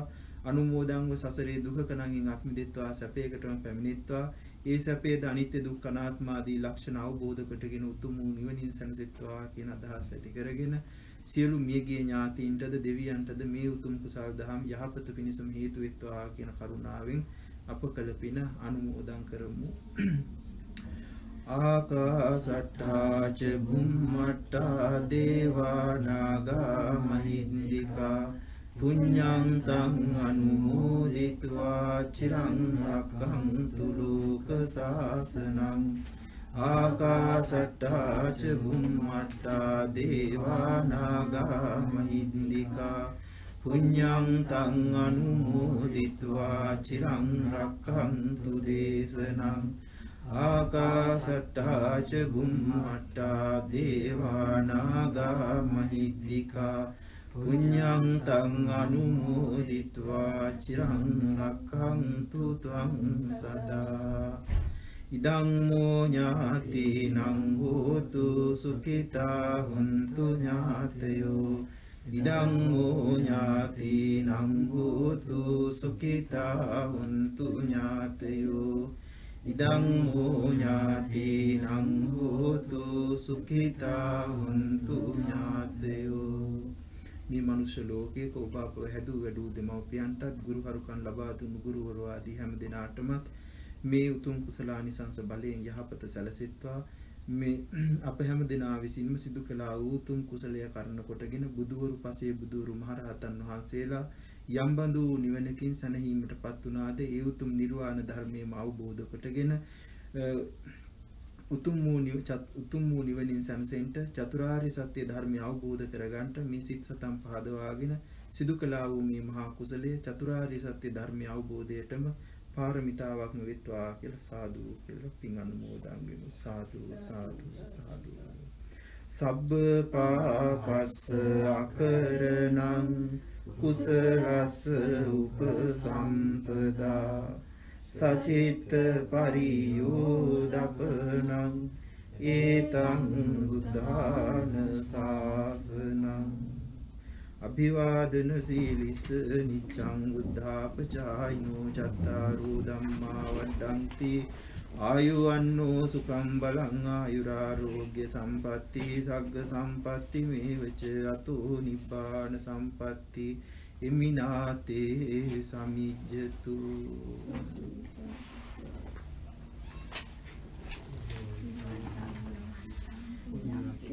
අනුත්තරං පුල්ලලේන මයාරත්තං මනිතුං සසිදුන්නං සාරිපුත්තාදි තේරාණං ආගතං පටිපාටිය සත්තා සීලයාස පදං සම්පන්නා ඕකාස වන්දානි ඕකාස ද්වාරත්තේන කතසපං අපරාතං කම්මත නිබන්ති ඕකාස කුමාරන්තු කමාන සූපත් වේවා. දැන් තෙරුවන් සරණයි.